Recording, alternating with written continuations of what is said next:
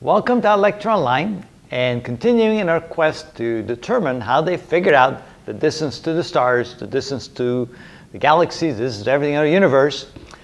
We get to the next stage here and remember what we talked about earlier in a previous video that they had already figured out how to find the distance to the 100 nearest stars using the angle of parallax. When they observe stars from a position of the Earth over here res with respect to the Sun, and then three months later when the Earth is over here, now a distance of one astronomical unit away from the Sun in the other direction. They take a look at the same star, they can measure the angle between those two points of observation, and that's called the angle of parallax. And the distance to that star then in parsecs is determined to be 1 over the angle as measured in arc seconds. And typically the angle is somewhere, uh, somewhere around the fraction of an arc second. For example, if let's say uh, theta was equal to one third of an arc second, so the arc second symbol is like a double line like that, and therefore the distance would be equal to 1 over one third, which is equal to 3, and of course the units would be parsec, where a parsec is 3.26 light years, so it would be about 10 light years. So they were actually able to, to figure out the distance to the nearest 100 stars. Now once you know the distance to the star, and you know the apparent magnitude or the apparent brightness of the star, you, you measure how bright the star is, you can actually figure out how bright the star really is, not the way it appears to us, but the way it really is. You can actually figure out the luminosity of the star. Well, they did that. Well, who did that? Well, turns out there are two individuals, Hertzsprung and Russell. Hertzsprung was a Danish astronomer, Russell was an American astronomer, and independently, they probably didn't know from one another that they were doing this, they began to come up with this idea to try and plot the actual luminosity, the actual brightness of stars with respect to their color.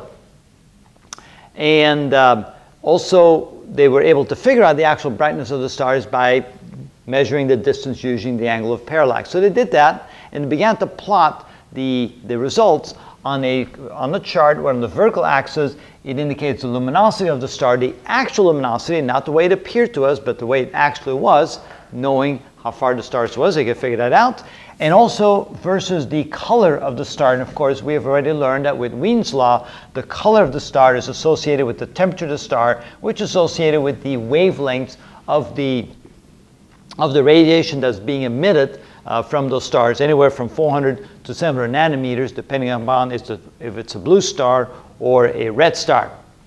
Now, when they began to plot those dots on the chart, each dot representing a star, and so they came up with about 100 dots, they saw something extremely interesting. So they started putting the dots down.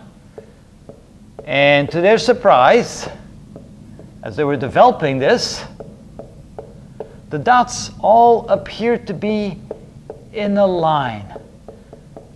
And so imagine they ended up with 100 dots. Vast majority of them were like this, and some of them were over there. And that's the result they ended up with. Something extremely interesting. But first of all, they didn't know what this was, why there were some stars there. Now, obviously, remember, if you, if you understand the chart here, the higher you are on the chart, the brighter the star is. The lower you are on the chart, the dimmer the star is. And here I had a bunch of stars that were very hot on the surface, whitish in color, but very, very dim. Much less dim uh, or much less bright than the sun because this represents the brightness of our sun. So if this is equal to 1, that means it's a star just like our sun with the same brightness as our sun. As it turned out, if you draw a line over here and then draw the line down here, notice that a sun, our sun, would appear about there on that chart. That's kind of interesting. So that, that shows that of the 100 nearest stars, the sun was one of the brightest of those 100. There were only about five or six stars that were brighter than the sun, and all the other stars were less bright than the sun. The vast majority of the stars were either of the orange or red type, and very few were yellow, and there was only about one or two or so that were actually white stars, except for the ones that were down here. They were whitish in color, but they were very, very dim. But this was a very interesting result because what they're seeing here is that there's a general, let me use a different color here so we can see this. There's a general relationship between the color of the star, the temperature of the star, and the brightness of the star. Now, when they started looking at this, we already knew that the amount of luminosity of a star depends on two things. It depends on the size of the star and it depends on the temperature of the star. But this increase from red to orange to yellow, notice that it goes from 3,000 to 4,000 to 6,000 degrees uh, Kelvin on the surface of the star.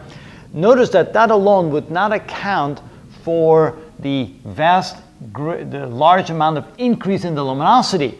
Remember that if you go from a red star to a yellow star, and if the size of the star stays the same, this star should only be 16 times as bright as this one, because according to the Stefan Boltzmann's law, it's proportional, right? The, the luminosity is going to be proportional to the temperature to the fourth power. So if you double the temperature from 3,000 to 6,000, if you take 2 to the fourth power, that's only 16. So the, the, the curve should have looked like this rather than like this if the only result was that the star was getting hotter, not larger. So then the result also indicated that not only was the star getting hotter as you go to the left on that diagram, they're also getting larger. So the stars are becoming larger and larger and larger as they went from red stars to orange stars to yellow stars to white stars. So we can graphically indicate that. So what Hertzsprung and Russell began to realize is that these were probably pretty small stars.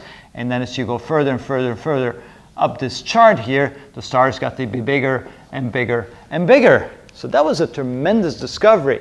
Here they could see that there was a, a relationship that was able to be determined between the color and the size of the star, and therefore also the luminosity of the star. That was a huge discovery.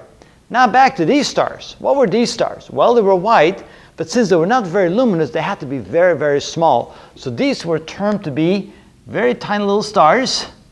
And so they named these little stars the white dwarf stars. In a later video, we'll learn what these uh, white dwarf stars. We, um, or simply white dwarfs, they're called white dwarfs. Uh, we'll learn later what those are, but at least this was the important part of the diagram. So what did that imply?